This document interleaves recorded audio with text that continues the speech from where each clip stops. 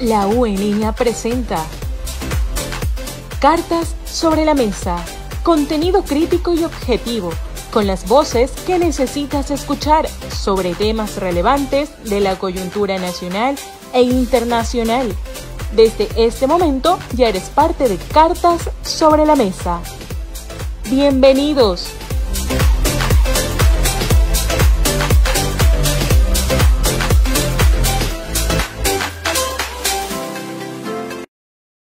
¿Listo? ¿Qué tal amigos? Muy buenas noches. Bienvenidos a Cartas sobre la Mesa, su espacio de diálogo y opinión acá en la U en línea. Recordamos a quienes nos están escuchando que pueden seguir esta transmisión en nuestras plataformas de integración social. Si nos ayuda la producción, por favor, para tenerlas en pantalla. Ahí tenemos nuestras redes sociales. En Instagram, Facebook y Twitter nos encuentra como arroba la U en línea. También pueden seguir esta transmisión en www.faxo.g.edu.es. Y si tienen dudas, sugerencias o comentarios o el día de hoy, pues saludos en este programa especial para sus mamitas, pueden hacernos llegar sus saludos al 098-1819-143. El día de hoy tenemos un tema eh, de un corte bastante más social, eh, un tema un poco más emocional. Vamos a hablar a propósito del Día de las Madres, que es este domingo, vamos a hablar de las madres en época de pandemia, cómo se han llevado estos tiempos que para algunas han sido de angustias, para algunas han sido de situaciones un tanto complejas, con tres mamitas que han sido invitadas esta noche y que pues nos van a contar su historia desde su perspectiva. Así damos pues la bienvenida a nuestra primera mamita invitada. Ella es Alba Barret González. Tenemos ahí su perfil en pantalla ya. Alba Barret González, que tiene 59 años, es madre de una joven profesional que también es docente universitaria. Es decir, que mientras dicta clase, pues también em, comparte la eh, actividad con los quehaceres del hogar. Muy buenas noches, bienvenida. Buenas noches, muy amable, gracias por invitarme. En realidad es un placer estar en la U en línea con todos los compañeros y amigos de la U en línea, de la Faxo y también de los que nos están escuchando. Muchísimas gracias. Así tenemos también a nuestra siguiente invitada de la noche. Ahí tenemos el perfil ya en pantalla de nuestra siguiente mamita invitada. Ella es Angélica Zambrano Calvache tiene 36 años, Angélica. Es madre de tres niñas de 14, 12 y 7 años y es docente de bachillerato. Ella mientras imparte sus clases atiende a sus hijos y esta noche nos va a contar cómo hace tanta maravilla. Bienvenida, Angélica. Buenas noches. Muy buenas noches, muy buenas noches con todos. Bueno, es un gusto poder compartir con ustedes esta noche, bueno, nuestras experiencias que hemos tenido a través de este año, ¿no? Un gusto y muchas gracias por la invitación. Gracias a usted por su tiempo. Tenemos a nuestra tercera mamita invitada de la noche. Ahí está su perfil ya en pantalla. Ella es Lisette Martínez. Y tenemos Lisette Martínez León, tiene 36 años, es madre de un niño y dos niñas de 14, 2 y un año respectivamente. Ella es psicóloga clínica, brinda atención psicológica y atiende a su familia, una labor pues sin duda de gran importancia en estos tiempos de angustia que vivimos. Lizeth, muy buenas noches, bienvenida a Cartas sobre la Mesa. Hola, muy buenas noches, es un gusto estar con ustedes. Gracias por la invitación, gustosa de compartir las experiencias de esta noche. Claro que sí. Este es el panel de invitadas que nos acompañarán esta noche en el programa Cartas sobre la Mesa. El tema es Madres en tiempos de pandemia. Y justamente vamos a empezar, quiero invitarle a nuestras panelistas a observar un video realizado por nuestra producción de quienes se convirtieron en madre en estos tiempos de pandemia. Los niños que nacieron en la pandemia y las madres que pues eh, partieron el parto en la pandemia. Escuchemos. Se dice que 2020 quedará en la historia, que perdurará en las mentes de los ecuatorianos por siempre. Y es que se dice que 2020 quedará en la historia, que perdurarán en las mentes de los ecuatorianos por siempre. Y es que ese año dejó marcas profundas, no solo en el país, sino también en el mundo. Pero sin duda el hecho de mayor trascendencia fue la aparición de la COVID-19. Mientras se registraban decenas de defunciones en diferentes partes del país por COVID, existía la otra cara de la moneda, mujeres que acogían en su vientre una vida y estaban en espera, en medio de una problemática social y sanitaria, para traer esa vida sana y salva. Juliana Díaz fue una de las tantas embarazadas en Guayaquil en medio de la pandemia. Nos cuenta cómo fue su experiencia al momento de dar a luz. Explica que incluso estando en una clínica privada, tuvo que esperar horas. Por lo que ya pues, me preguntaron, ¿va a esperar a la doctora o, o le hace nomás un doctor de aquí de la clínica? Tuve que decirle que no. En Guayaquil nacen en promedio 200 bebés al día, de acuerdo a la proyección de las series históricas de nacimiento y de funciones del Instituto Nacional de Estadísticas y Censo, INEC. Es decir, unas 200 mujeres cada día necesitan atención para dar a luz. Pero esto parece haberse detenido en la cuarentena. Muchos hospitales tuvieron que centrar sus operaciones en casos de COVID-19. Otros hospitales optaron por priorizar su atención dejando relegados a otros pacientes, entre ellos las embarazadas.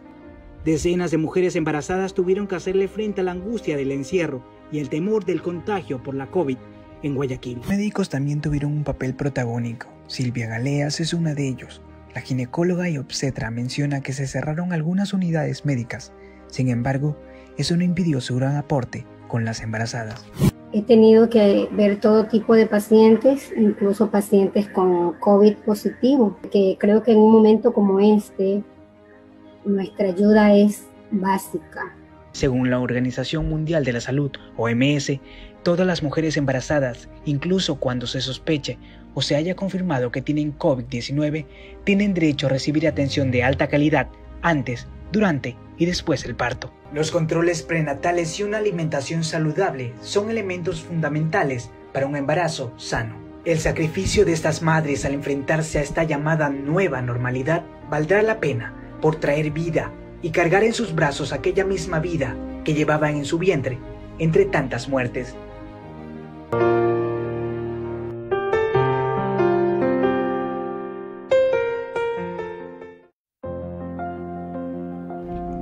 Feliz Día de las Madres te desea Cartas sobre la Mesa.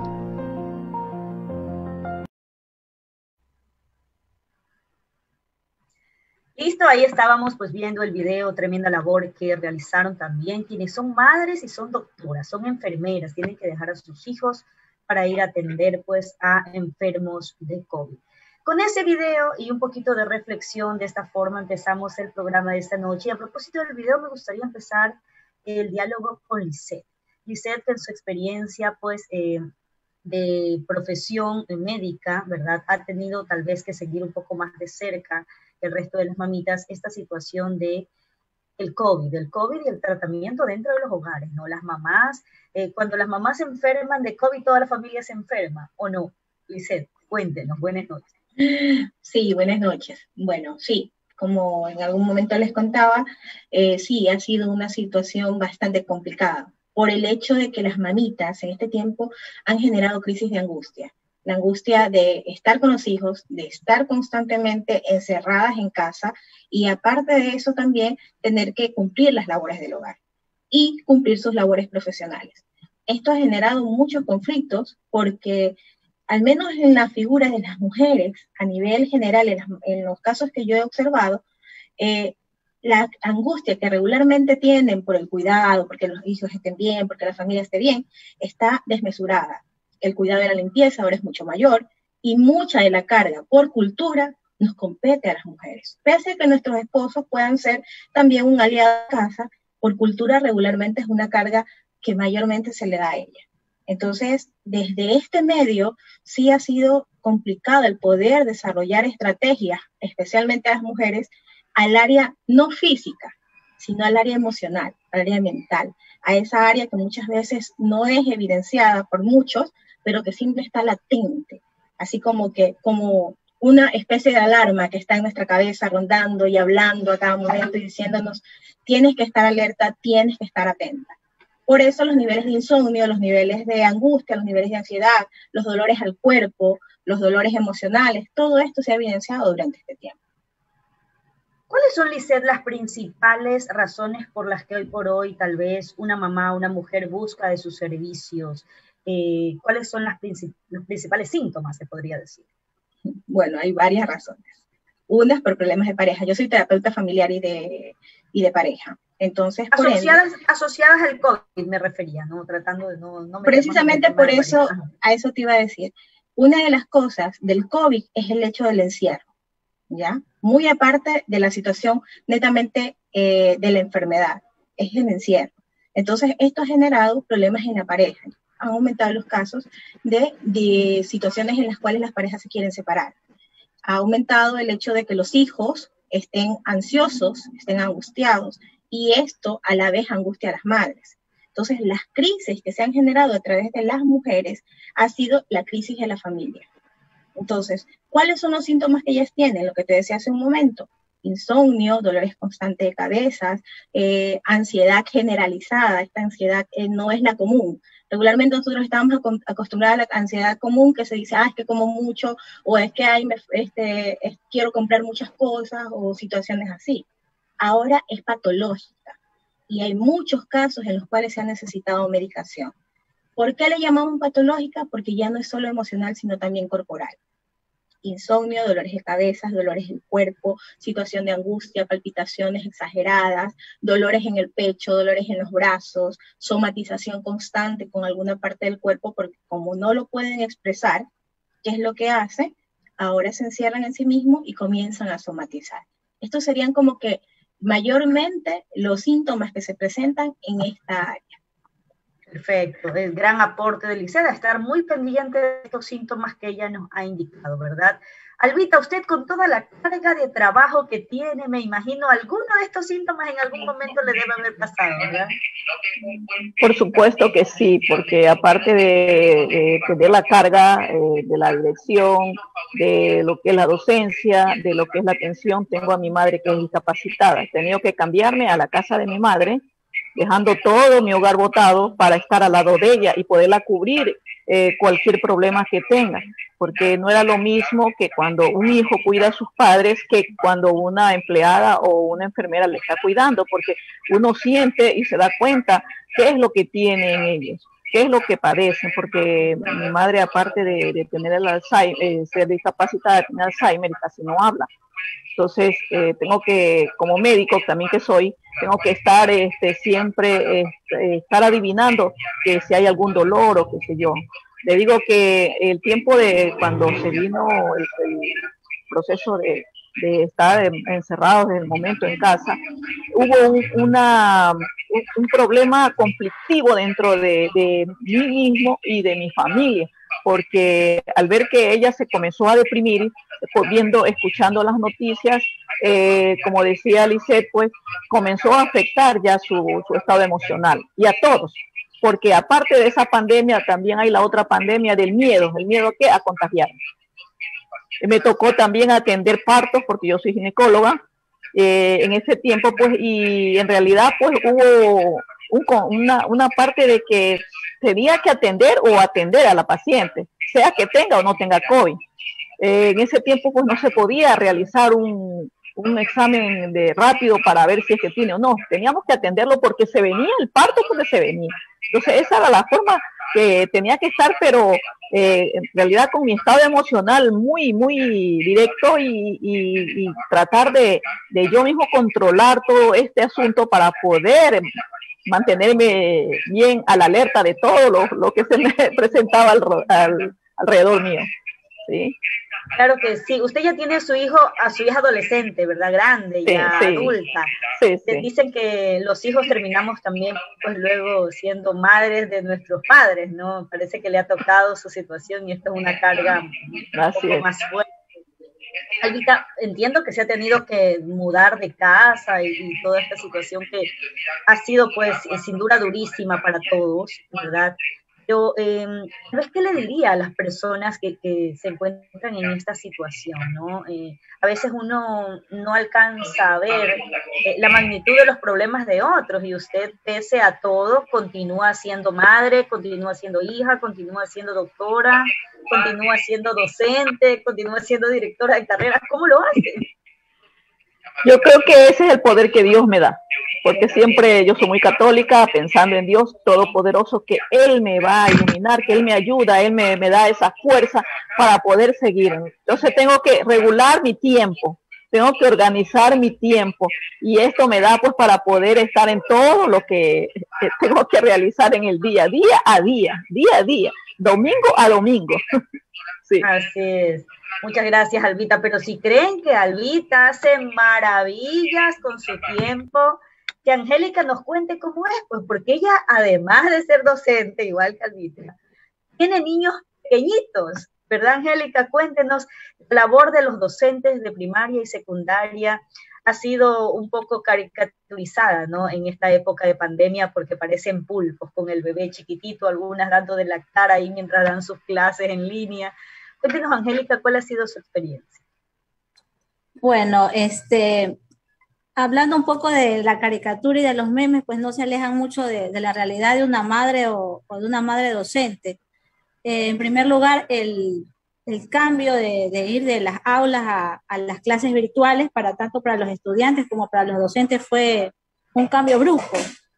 Eh, como le comentaba a través de los mensajes cuando estábamos conversando previamente y le decía que eh, el proceso ha sido muy, muy rápido, el cambio entre el aula y los chicos que van ahora se conectan de manera virtual.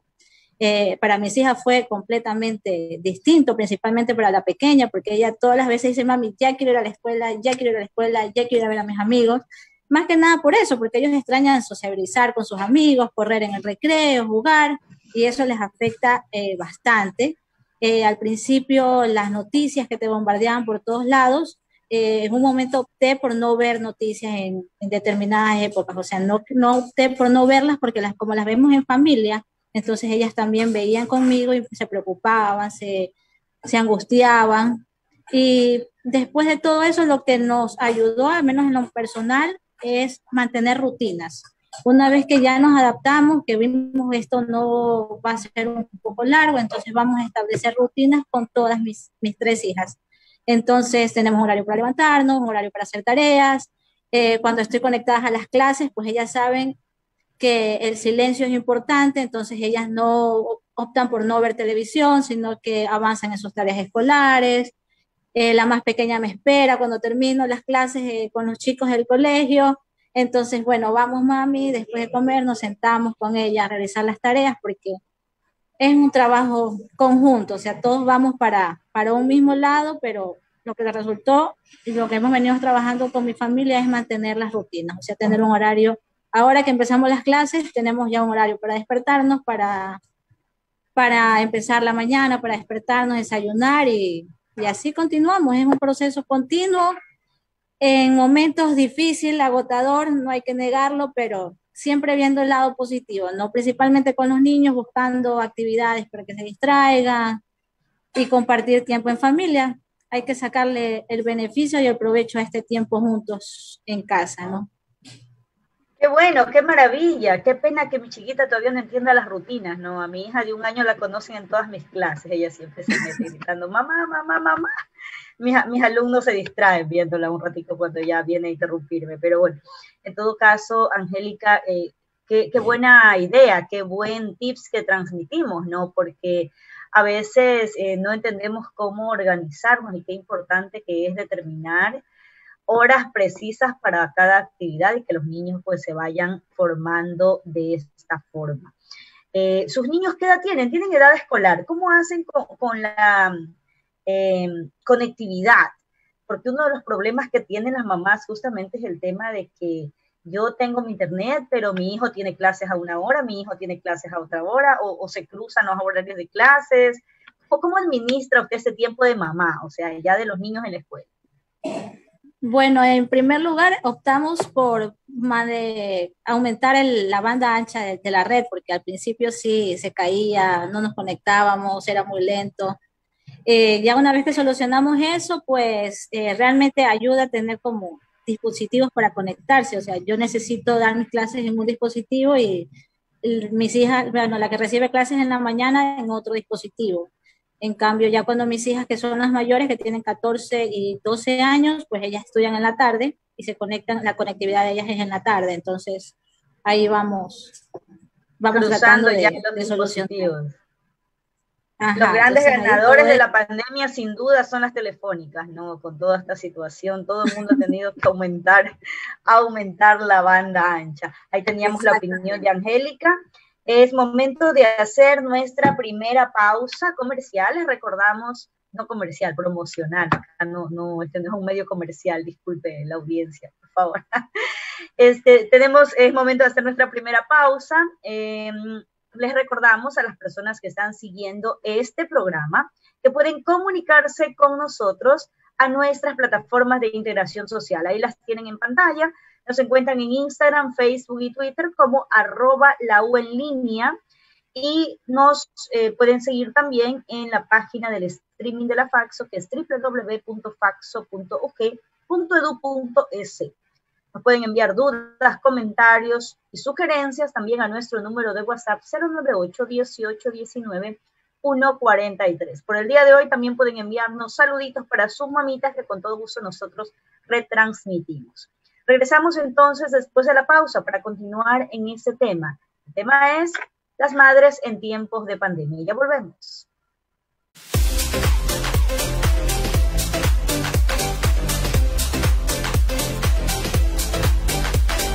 Hola amigos, les saluda Troy Alvarado, subdecano de la Facultad de Comunicación Social en la Universidad de Guayaquil. Quiero invitarlos todos los miércoles a las 14 horas a que se deleiten del Café de la Ciencia Express. En este programa siempre tendremos invitados académicamente certificados con los cuales vamos a satisfacer nuestra sed de conocimiento científico. Ya lo saben, miércoles 14 horas a través de la U en línea, Faxo transmite. Salud.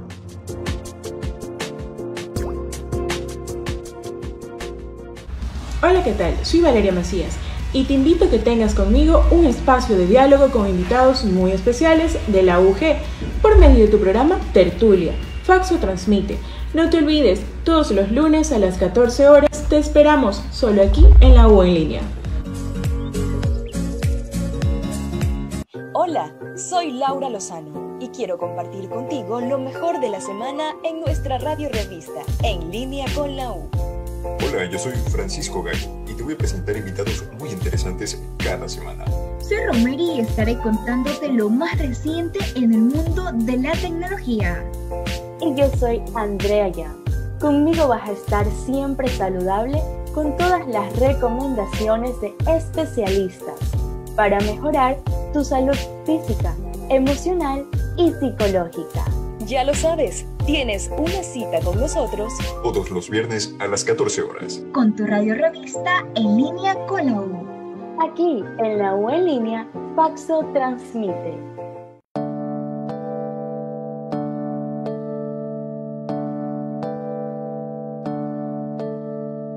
Hoy la U en línea quiere agradecerle a un ser muy especial, aquella que es nuestra fan número uno y la que nos obliga a comer vegetales, la que nos impulsa a seguir nuestros sueños y a sacar excelentes calificaciones. Les cuento, ella tiene una aliada y es la poderosísima chancla la que nos cuida cuando nos enfermamos y pasa mala noche por nosotros, a veces a quien sus palabras ignoramos, pero damos todo por tenerla a nuestro lado, aquella que nos enseñó a tomar nuestras propias decisiones, para no seguir a los que se tiran de un puente.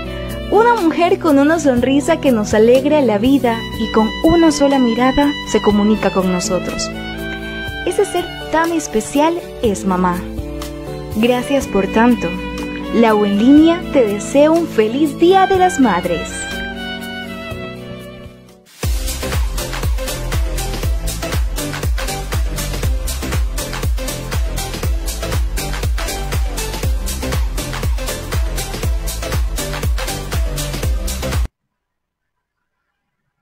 Listo, ya estamos de regreso entonces acá en Cartas sobre la mesa, justamente para continuar dialogando la situación de las madres en tiempos de pandemia. Tenemos a tres invitadas esta noche. Les recordamos a quienes siguen esta transmisión que pueden eh, hacerlo a través de nuestras plataformas de integración social. Por favor, la producción nos las pone ahí en pantalla. Nos encuentran en Instagram, Facebook y Twitter como arroba la U en línea. También nos pueden seguir en www.faxo.g.edu.es. 098 18 19 143 es el número de WhatsApp donde usted puede enviarnos comentarios, dudas o sugerencias. Y por el día de hoy, pues puede enviarnos también los saluditos para su mamita que con todo gusto nosotros les retransmitimos. Vamos a hablar entonces, continuar hablando del tema de las mamitas. Hay un programa que decía eh, acá en la televisión ecuatoriana hace un tiempo atrás que decía lo que callamos las mujeres. Es lo que callamos las mamitas en tiempos de pandemia. Vamos a empezar con Angélica. Angélica que se rió ahí debe tener un montón de lista de cosas que está callando por ahí. Desahógese. La escuchamos, está con el micrófono apagado. Ya, eh, a ver, ¿qué podemos comentar? Bueno, hay muchas, muchas experiencias realmente, ¿verdad? Y usted también como docente, me imagino que hay cosas y cosas que, que nos pasan. Eh, tenemos una mascotita también y a veces por más que ellas intentan controlar o calmar, hay cosas que se salen con el micrófono abierto, que invitan a la comicidad también con los estudiantes, ¿verdad? Eh, pero eso, o sea, más que nada es una experiencia diferente, por supuesto, pero de cierta manera enriquecedora como madre, como docente, nos ha llevado a cambios drásticos, a aprender nuevas tecnologías. Los primeros días era de muchos nervios, cómo vamos a hacer con la cámara, el micrófono, pero ya uno que después le fue perdiendo como el miedo, ¿verdad? Y se fue acostumbrando a, a toda, toda esta situación. Y los niños también, o sea, sí extrañan, se extraña salir, extrañan jugar, extrañan ver a amigos, pero conversando creo que con ellos entienden también la problemática mundial. Y, más que nada eso, o sea, ha habido experiencias incontables, pero hay que rescatar siempre lo bueno, ¿verdad? Yo siempre a, mis hijas les digo que hay que sacar lo positivo en las situaciones y eh, mi madre siempre decía al mal tiempo darle prisa. Entonces, a las cosas malas o a los momentos difíciles, pues hay que ponerle una situación agradable o amigable para, para poder sobrellevar todas las, todas las anécdotas que tenemos. Claro que sí, qué bueno. Cuénteme algo, ¿usted era de las mamitas que ya era amiga de la tecnología o le tuvo que decir a sus hijos, oye, ven, ayúdame aquí, ¿cómo hago esto? No, yo soy amigable con la tecnología. Eh, incluso a mis compañeras cuando no se les hace como complicadito, entonces ahí yo, bueno, vamos, yo le explico, le ayudo, pero hay cosas que aunque sea muy amigable con la tecnología, ellos como que están mucho más, al, mucho más, a la, mucho más avanzados. Entonces sí hay situaciones en que le digo a mi hija mayor, le digo, oye, no sé, ayúdame en esto, no sé qué pasa. Y ella me dice, a ver, vamos viendo y me soluciona. Entonces, aunque sea muy, muy amigable con la tecnología, hay cosas que, que a veces se nos escapan o por alguna situación no podemos, no podemos solucionar y bueno, y los niños están muy, muy, muy avanzados con la tecnología y, son como más amigables que a nosotros. Y, pero sí, nos ha costado, nos ha costado más que nada en la metodología, hablando como docente y no como madre, eh, tratar de llegar, llegar al estudiante, porque hay que ponerse en, el rol de profesor, de estudiante, de padre de familia, y que cada uno tiene unas diferentes circunstancias o diferentes ámbitos en sus casas, y entonces hay que tratar de solucionar o tratar de ser amigables con todos ellos. Y en casa, bueno, en casa, la colaboración de toda la familia, porque para que esto lleve a cabo, creo que a todas las mamitas es una colaboración de todos, todos los miembros de la familia. O sea, cuando estamos dando clases, o sea, todos los que vivimos en la casa saben que estamos dando clases, entonces tratan de hacer silencio, dejan actividades para después y, y cosas así. Entonces, no sé qué más le pueda comentar o... Qué bueno. Claro que sí, Angélica, entendemos perfectamente su situación con los niños, ¿no? Hay un refrán que dice que ningún buen nadador compite con un tiburón, ¿no? Es que ellos nacieron como pez en el agua y nosotros nos fuimos adaptando a la tecnología, por más que la manejemos a la perfección, ellos nacieron ya en el mundo tecnológico. Sin duda la situación es otra. ¿Verdad, doctor Alba? Cuéntenos usted que le vimos la sonrisa y cuando dice, ¿qué es lo que calla ella? Debe tener un montón de cosas que no puede decir. Desahógese con nosotros. En realidad, pues, este, estoy con el micrófono. Sí, la, verdad que eh, estamos en una nueva sociedad, una nueva sociedad tecnológica y bueno, este, para mi época la tecnología no estaba muy, muy reconocida por mí, lo utilizaba lo necesario porque tenía que este, hacer diapositivas, que tenía que hacer proyecciones, que buscar videos y nada más. Pero cuando ya se vino la educación virtual, como decía Angélica, pues sí, un poquito de temor. Ahora, pues, eh, en el momento que me vaya a presentar eh, frente a mis alumnos, eh, se me verá bien en las cámaras, tal vez no podré conectarme bien o de pronto al presentar las diapositivas no me van a salir, voy a pasar vergüenza, bueno, una serie de, de cosas que se venían a la mente por, por, más que trataba de yo autoeducarme buscando YouTube, cómo poder eh, hacer una, una, clase bastante amena y que el estudiante no se me vaya a aburrir o que se me vaya a salir de, de clases. Entonces, esto de aquí, pues, eh, sí, sí estuve un poquito preocupada, a pesar que a mi hija la tenía lejos, porque, como le dije, me vine sola, mi hija por otro lado, entonces, eh, después que salía de clase, le decía, hagamos un Zoom, ayúdame en esto, mija, ya, ya yo te resuelvo. No, no, no, no. Enséñame cómo tengo que hacerlo, porque yo tengo que aprenderlo, yo tengo que hacerlo. Si tú quieres hacérmelo todo, entonces no voy a aprender, porque a mí me gusta eh, aprender haciendo, porque esa es la mejor forma. Entonces, este, luego pues, saber que también tengo que ayudar a hacer en casa las actividades de hogar, que no estaba casi acostumbrada, eh, tratar de limpiar una casa, de, ayudar a la cocina en algo que pueda hacer, que ir a buscar, que lavar la, meter la ropa en la lavadora, que eso me lo hacían antes, pero ahora yo mismo tengo que hacerlo. Entonces, esto es una carga que a uno le cambió totalmente la vida y por eso me reía, porque en realidad, pues cuando ya vimos que teníamos que trabajar todo por vía virtual, ahora cuando entre a la plataforma podré calificar, eh, cómo podré manifestarme con los estudiantes para poder enseñarle una tarea, qué sé yo. Entonces todo eso se me venía, pero así, en, grande. Poco a poco fui adaptándome, fui acondicionándome, pues, y gracias a Dios, pues sí, he valorado bastante la autoeducación que me di para poder seguir adelante. Y lo otro que es saber combinar entre la profesión, la docencia, la atención en casa, ahora ama de casa, que no lo, no lo hacía, no lo hacía. Ahora, usted hace el almuerzo.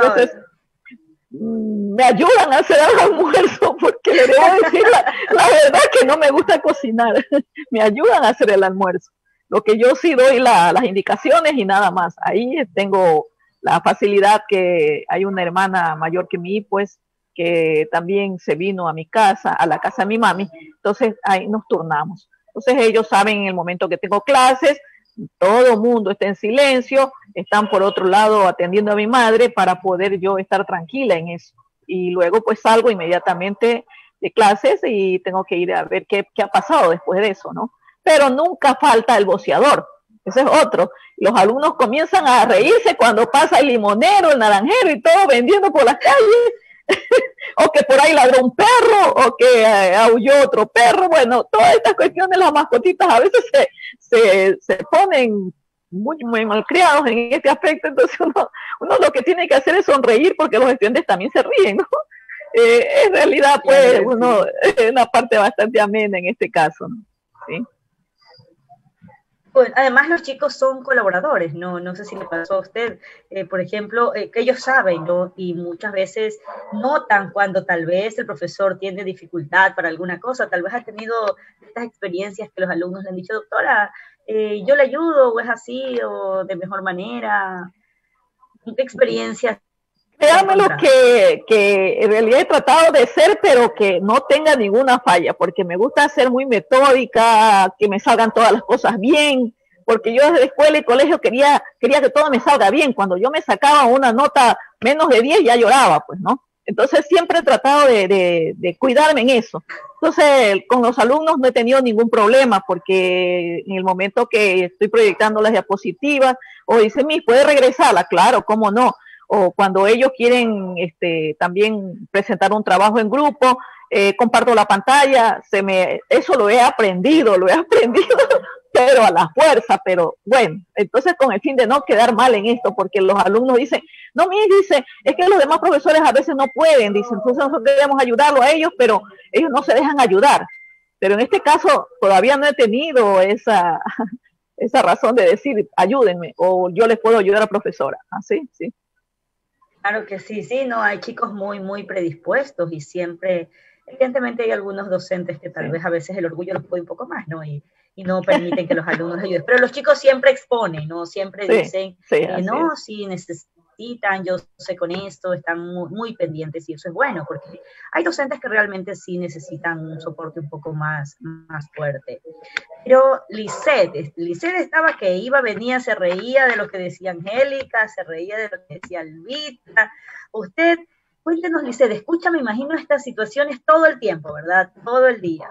¿Cómo hace para no absorber esto? Lo que usted calla, cuéntenos. Bueno, se callan muchas cosas. Les comento que yo también fui docente universitaria y precisamente por el tema de la maternidad yo decidí dejar la docencia. O sea, yo cuando nace mi última niña, que tiene actualmente un año y medio, yo dejé la docencia para dedicarme a mis hijas. Pues tengo un hijo adolescente y al tener un hijo adolescente y ver las carencias afectivas que podrían generar y todas estas cosas, decidí dejar la docencia.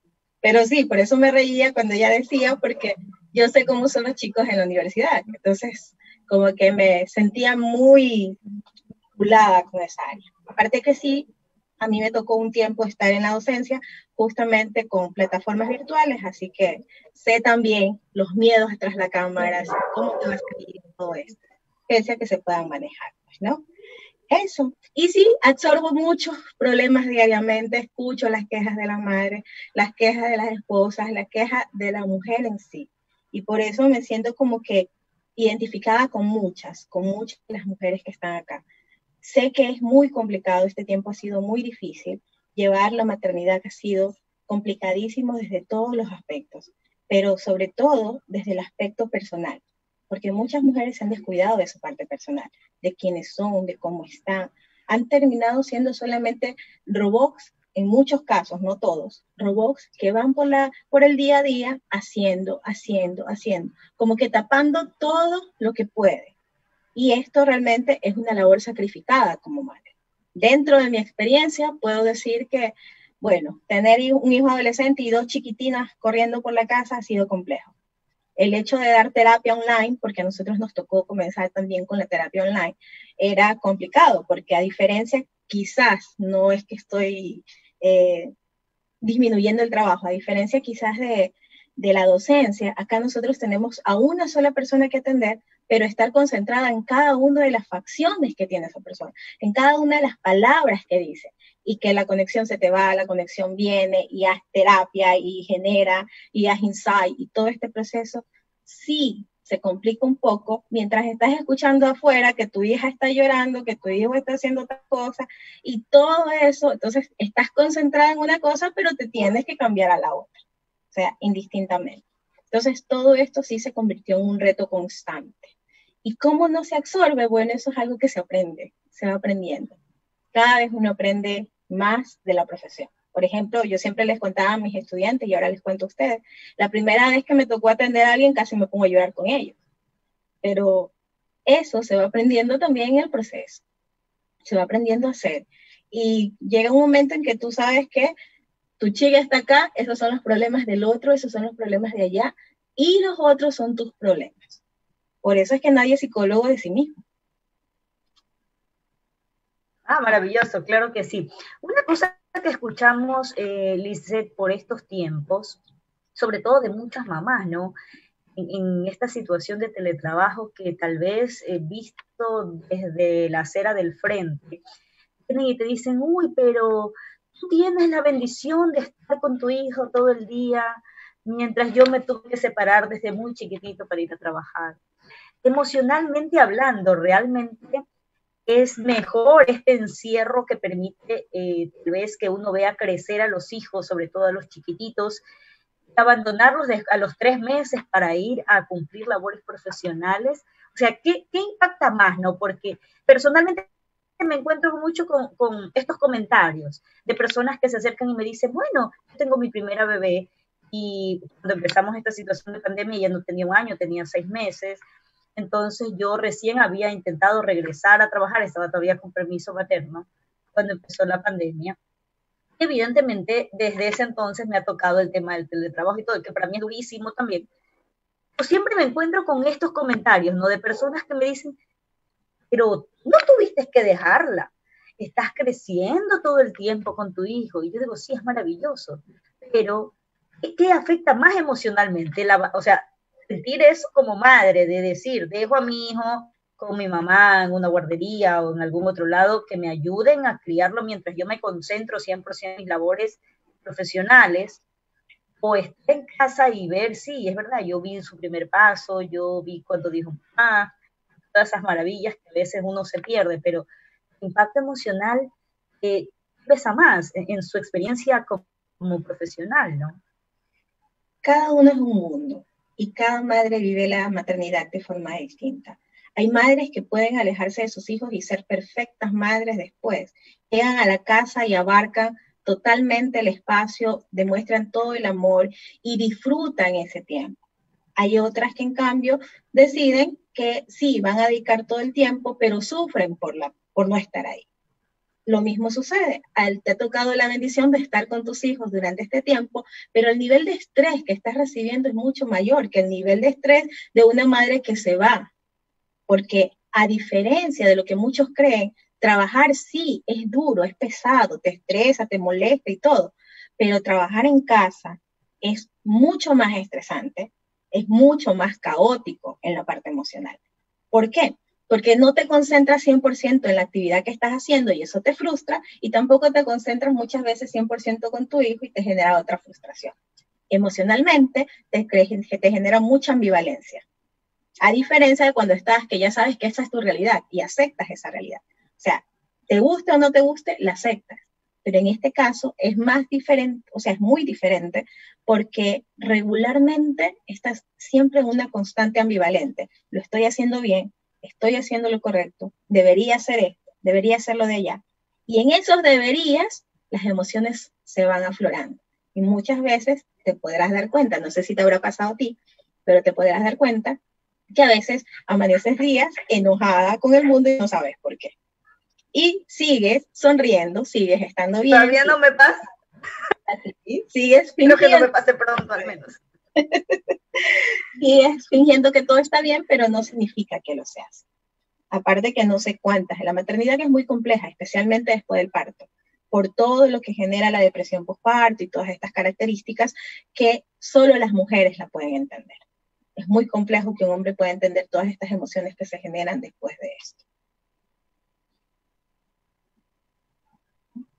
Claro que sí, uno queda muy, muy, muy sensible, muy sensible. Subrayese el muy sensible. Mamitas, ¿verdad? Que vamos el día domingo a festejar el Día de las Madres, son las que entienden precisamente eso. Vamos a hacer una pausa más. Después del corte, llegamos a las conclusiones finales ya con cada una de nuestras panelistas. Les recordamos a quienes están eh, siguiendo nuestra transmisión pueden escribirnos, por favor agradezco a la producción que puede ayudarnos con la cajetita, que pueda escribirnos a nuestras plataformas de integración social.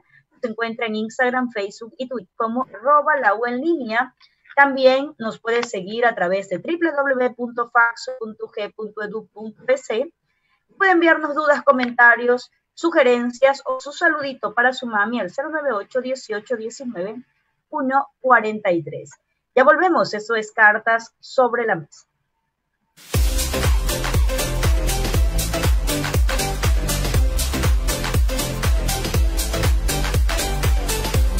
Hola amigos, les saluda Troy Alvarado, subdecano de la Facultad de Comunicación Social en la Universidad de Guayaquil. Quiero invitarlos todos los miércoles a las 14 horas a que se deleiten del Café de la Ciencia Express. En este programa siempre tendremos invitados académicamente certificados con los cuales vamos a satisfacer nuestra sed de conocimiento científico. Ya lo saben, miércoles 14 horas a través de la U en línea, Faxo transmite. Salud.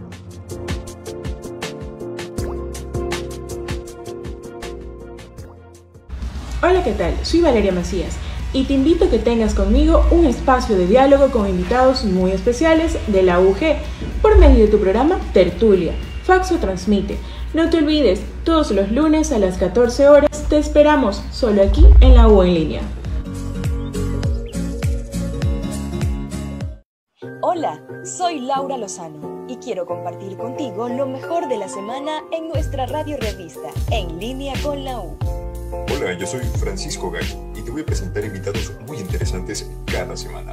Soy Romeri y estaré contándote lo más reciente en el mundo de la tecnología.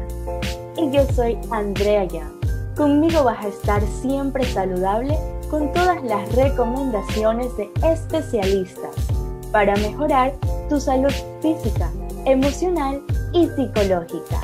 Ya lo sabes, tienes una cita con nosotros todos los viernes a las 14 horas. Con tu radio revista en línea con la U. Aquí en la U en línea, Faxo transmite.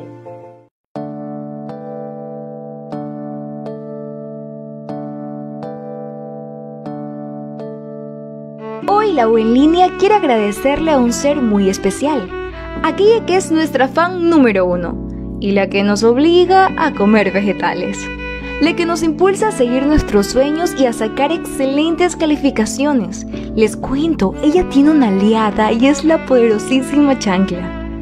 La que nos cuida cuando nos enfermamos y pasa mala noche por nosotros. A veces a quien sus palabras ignoramos, pero damos todo por tenerla a nuestro lado. Aquella que nos enseñó a tomar nuestras propias decisiones, para no seguir a los que se tiran de un puente. Una mujer con una sonrisa que nos alegra la vida y con una sola mirada se comunica con nosotros. Ese ser tan especial es mamá.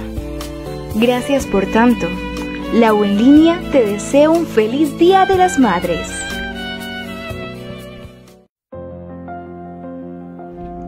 Feliz Día de las Madres te desea cartas sobre la mesa.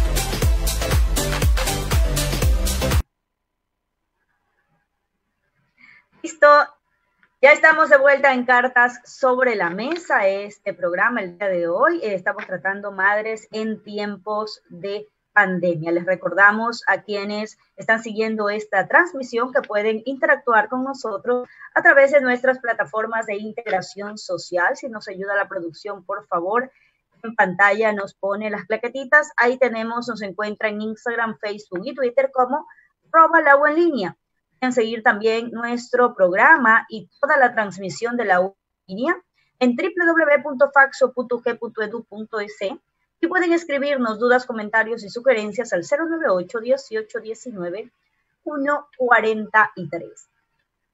pusimos una pregunta, si me ayuda también la producción, una pregunta justamente en las redes sociales eh, el día de hoy para conocer un poquito eh, la interacción de quienes nos siguen en las redes sociales. Ahí tenemos, la pregunta dice, ¿de qué manera ha demostrado el amor que merece mamá? Esta era la pregunta para quienes nos siguen en redes sociales. Veamos qué nos han respondido. Ahí tenemos algunas respuestas. Tenemos 100 eh, vistas, algunas personas que eh, han compartido. Vamos a leer dos mensajitos que ha destacado nuestra producción. Dice Blanca Herrera, amándola y dedicándole sus logros. Ella es quien está conmigo, dice, siendo el pilar fundamental. Siempre todo, todo hijo agradecido dedica pues eh, sus logros a su mamita. Onassis dice, siempre que la veía sentada abajo, la besaba en la mejilla y le decía, te robo un beso, eres especial, me imagino que sigue. Entonces, son las personas que han interactuado con nosotros. Muchísimas gracias. Un enorme saludo a quienes nos están siguiendo en el Facebook y en las otras redes sociales. Entonces ya vamos a despedir este programa. Eh, vamos a darle paso a Angélica, que ya está ahí con sus hijas, que la están acompañando para despedir este programa. Angélica, tal vez sus palabras de despedida, algunas recomendaciones a las mamitas que como usted son docentes, son docentes secundarias, docentes de primaria, tienen una ardua labor, mi reconocimiento y el del programa justamente para este trabajo que realizan, pues, y sus palabras de despedida. Bueno, este, rescatando un poco lo que decía Lisette, pues realmente sí el trabajo a veces es arduo, a veces agotador, hay días de días, pero creo que como mensaje no solo a las madres que son docentes, sino a, a las madres en general en esta época es revestirnos un poco más de paciencia, ser un poco más tolerantes en ciertas situaciones, tratar de conversar un poco más con nuestros hijos, sean pequeños, sean grandes, cada uno tiene un mundo diferente. Entonces, creo que lo más importante para rescatar de, esta situación, independientemente si trabajamos, no trabajamos, o es estar con nuestros hijos, pero estar de manera presente, o sea, no solo estar en casa en un, un lugar físico, sino estar y compartir momentos con ellos, pasar tiempo juntos, ver una película, reír. Entonces, esos, creo que esos momentos enriquecedores se los van a llevar a ellos por, por toda su vida. Entonces, esos son motivos para recordar. Listo, Angélica, muchísimas gracias por su tiempo. Feliz día a usted, a su familia este domingo.